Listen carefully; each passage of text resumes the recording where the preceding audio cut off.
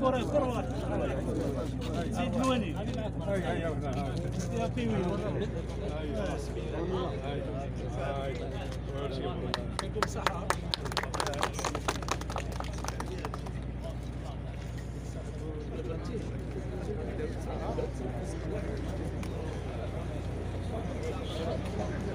بلاقل بلاقل بلاقل بلاقل بلاقل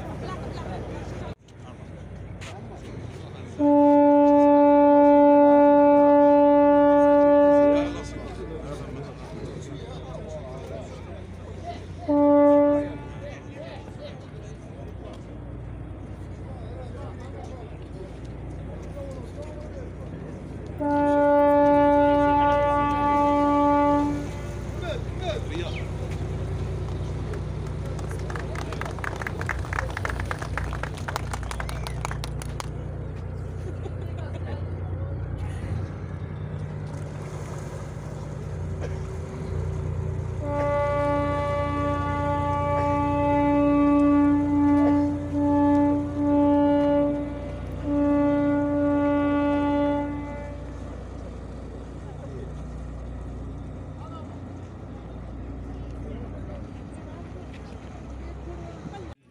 ومهم اقتصاديا.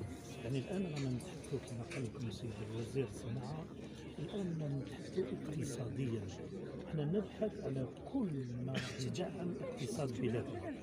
هذه القاطرة آه، أعطي لكم يعني توضيح سهل. هذه القاطرة راح تساهم بشكل كبير في تسيير تسريع عملية شحن البواخر بالمواد المحروقات. يعني اللي كنا نقعدوا أسبوع أو أربعة أيام أو خمس أيام باش نملؤوا باخرة هذه القاطرة راح تسمح لنا بتدعيم شركة سوناتراك لعملية شحن يعني كيفاش نرسيو الباخرة أمام مناطق الشحن بسرعة. هذا هي العملية بكل أمان. وبكل يعني بطريقة سليمة وجيدة واقتصادية وعالمية. فلهذا إحنا مثل هذه العمليات راح ندعمها كثير في كل يعني الأعمال الحكومة التي رانا نقوم بها. فراح ننسق مع وزير الصناعة لنكون دائما دائما مع وزير الصناعة لانطلاقات كل الصناعات في بلادنا. أنا تحدثت أول أمس في البرلمان عن آه، إنجاز الأنابيب في الجزائر. وفي الثلاثي الأول راح يكون تسليم الأنابيب بالنسبة لسوناتراك وسونالغاز لإنجاز خطوط الأنابيب في بلادنا وما بقاش نستورد الأنابيب من الخارج.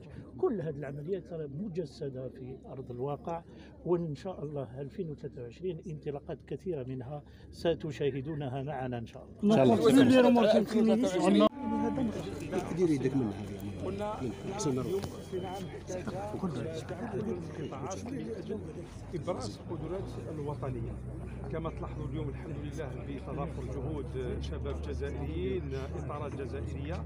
حققنا أول قاطرة صنع جزائري واليوم الحمد لله السيد وزير النقل آه، آه، فيه كذلك تعهدات على أساس إعطاء فرصة لهذه الشركة من أجل صناعة قاطرات أخرى إن شاء الله. يدخل في استراتيجية استحلال الواردات. اليوم نظن هي انطلاقة فعلية للصناعة. اليوم آه، اليوم إحنا مطالبين أن نسبة النمو الصناعي ترتفع.